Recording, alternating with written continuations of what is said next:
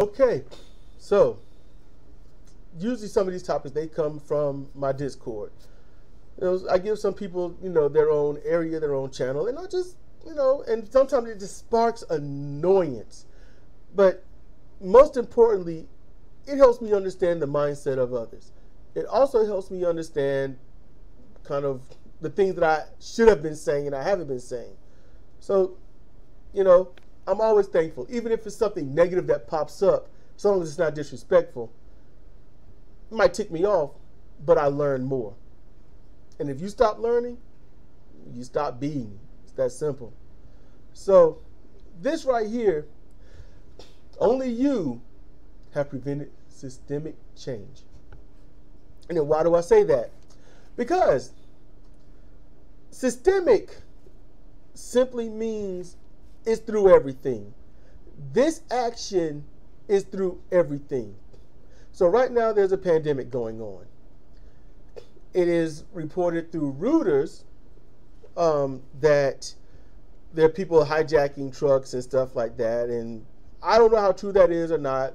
You know, someone could easily post something and say it's from something. And but going on the way people act, the way people are, I'm kind of 50-50 on that. Now, here's the thing. And on the Discord, you know, some you know person was saying that it's uh you know, you're, you're being part of the problem. And I get that. But the whole base of it was the lockdown is lasting too long. And that's where the problem is. For anyone out there that thinks the lockdown is lasting too long, I need you to pause. Think about it, okay? Don't pause the video. Just pause yourself. You're thinking. Just calm, chill, all right? And just hear me out on this. The entire point of the quote unquote lockdown is to make sure that the lockdown is brief. That was the point. I want you to think about it if if the politicians of this country, USA, just to be clear, if the politicians of this country had chose to warn and lock it down instead of selling off shares for profit and calling it a hoax or just not saying anything at all which enables the citation of a hoax where would we be right now? Just think about it. This would have been in January before, before the virus was here that we know of. It would have been maybe all of January, all of February, figuring things out. Mid to early March, we would have been done. There would have been self quarantine, no one in and out. Everyone would have to have their place. Stock up on what you can and live. Just survive for that amount of time. That's all that would have had to been done. So March, we would have been out. Okay, March at it, just a two and a half month lockdown, or maybe two months. That would have been fine all businesses shut down, travels and whatnot shut down. Stay inside, keep yourself clean, do all that other stuff. Probably not even a mask needed at the time. It would have been great. But that's not what we got. It was a hoopla, misconstrued information, lies, mendacity. Now, where are we now? We are at the point where people, and I want y'all to hear this, people are going outside in protest of the lockdown with signs and chants of not wanting to be trapped in their homes. They are outside saying they want their freedom. They are protesting a lockdown while exercising not being locked down at all. I want you to think about that level of intelligence. I mean, that's you're lost at sea, Send me some help, God. There's a log. You pass it by. Send me some help. There's a raft. Not good enough. Pass it by. And then there's a small boat, but you pass it by, maybe because the motor don't work. Then you drown. Then you say, why did you not help me? Like I sent you three things. What the hell you want? And then you're like, ah, crap. That's what's happening. Stay inside. That's number one. Make sure you keep your hands clean. All right? Number two, disinfect surfaces and whatnot. Those three things. That's all that would have had to been done. This stuff is systemic. Why? Because what's happened now, all right, how far am I into this? Six minutes. What's happened now? Now it's gotten to the point people need bailout money. I want you to hear this.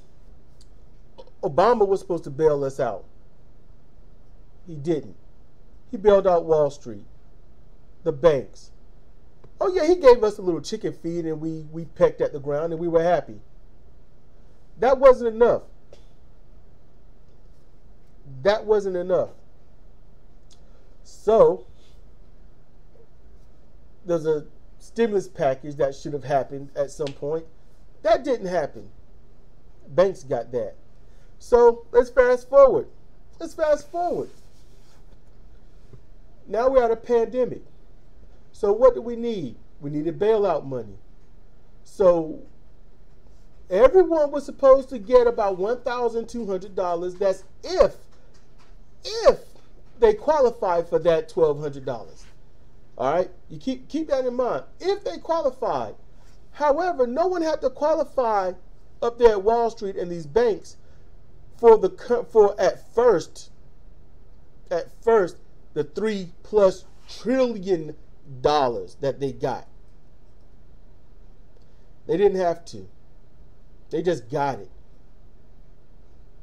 There was there's no regulation on it, no return on receipt, nothing. Nothing. It's not taxed. It's nothing. That twelve hundred dollars that we're supposed to get, what happened?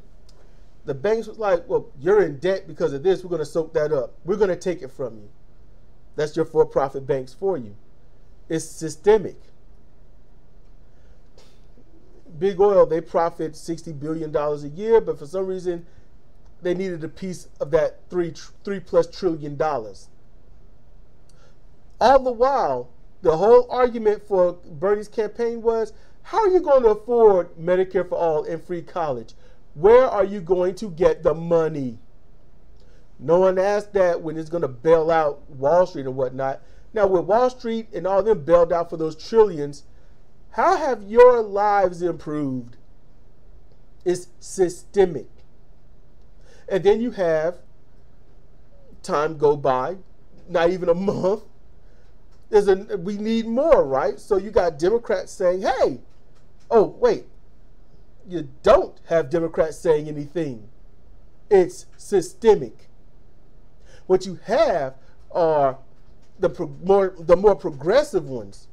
You know, Omar, Tlaib, Rokana, You know, you've got them, and they're saying you need two thousand dollars a month minimum until the pandemic is over. Nancy Pelosi and everybody else says no. They say no. However, Wall Street and the banks got they got four plus trillion dollars. It's systemic. See, everyone that's already mega wealthy, they have to keep their way of life going. So they get these big bailouts. They get these handouts. And where do you think that money's coming from?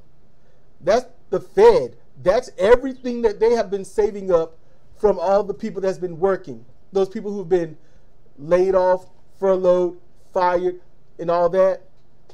That's the tax money from that. It's systemic.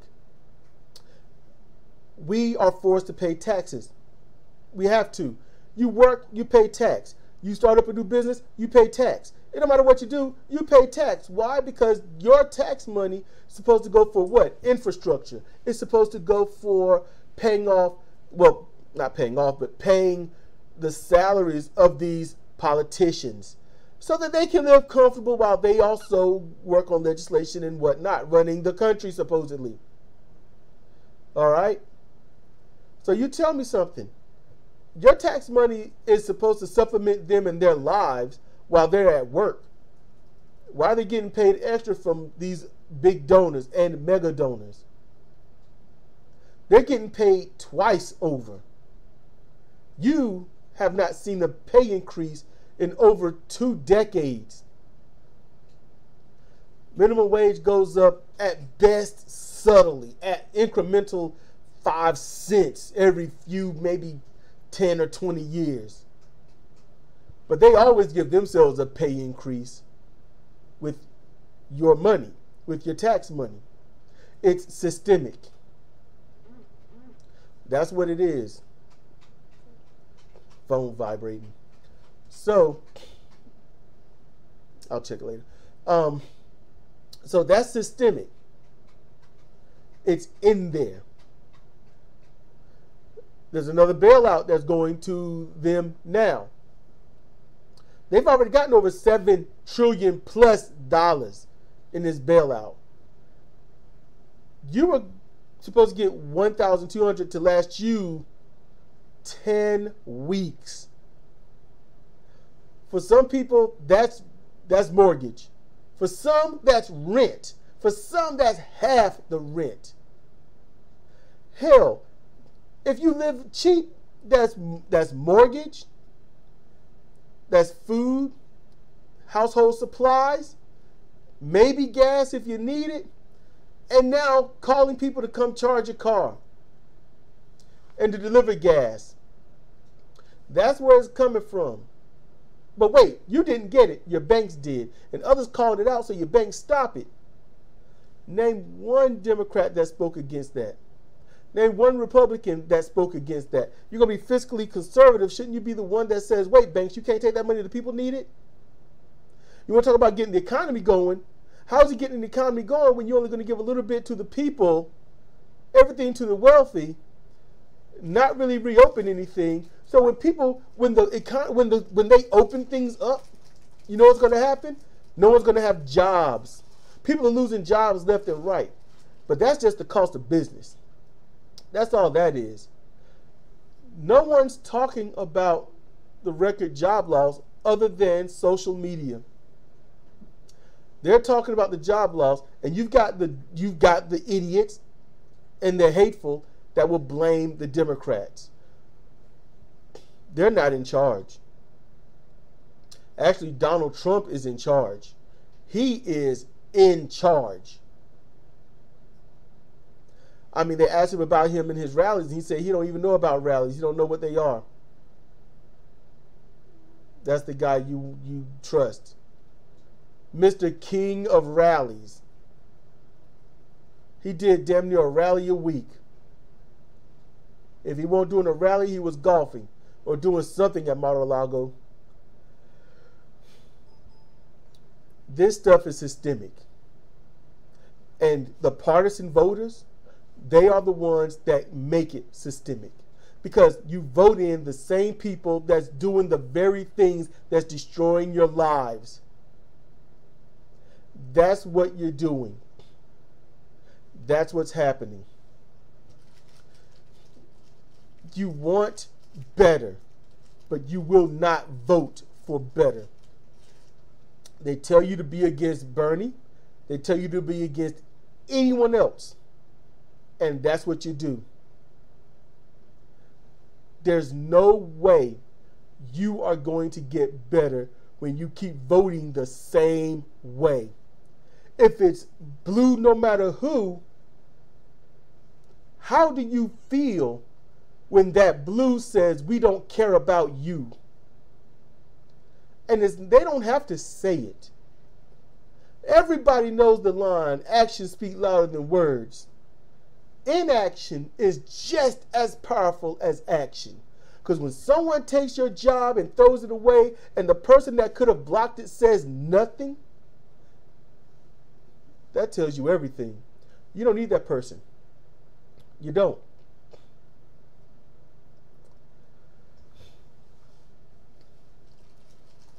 Let me tell you something. Food in your home is dwindling not because there's no food on the shelves. It's dwindling because it's almost impossible to go out and get it. And while you're slowly, slowly being, being faced with starvation looming right there at the horizon, you're starting to see it. You know it's coming. Your Democratic Party leader, the face of it, decides to show off her massive refrigerators and freezers and talk about her great ice cream. And this is not long after saying that that you all want stimulus, but you're not going to get it. This is the one that says she will not give you Medicare for all. She's the one saying she will not give you free college. She's the one saying that she will not use that money to do better infrastructure. She has been the one that's been siding with every Republican vote and making sure to make sure every progressive has no voice. To the point where she's turned AOC just enough in her direction. Oh, Nancy Pelosi, is she a mama bear? Yes, she is to the DNC. But when you're a progressive, that should not be your mama bear. It should be their mama bear if I'm correct, she said, I'm not trapped in here with y'all. You all are trapped in here with me. Oh, how things have changed in just a couple of years. How things have changed. You vote these people in, and then they hoodwink you. Fine. Why? Because they tricked you. Fine. But when you keep voting in the same person to the same seat and they have done nothing for you but everything for themselves, that's on you. You have enabled and allowed systemic corruption to prevail. And if you want to stop it, it is up to you to stop it. It is up to you to find someone else to vote for. It's blue no matter who, then make sure that that who is someone that cares about you. That's what you do. And that's what I'm asking. There are people running, there's someone and some people running against Nancy Pelosi. If you're in her state, look them up. You know, go to gov.org and whatnot and look up who's running against who. It's out there. This is a critical time. We are suffering. You are suffering. But these politicians, these establishment politicians, they're not suffering. They're enjoying life. And they're making sure you support them enjoying a life that you could never have. Change. It's always there. You just have to do it. Has been Sedrik Cannady for Comparative Reasoning. Thank you for listening.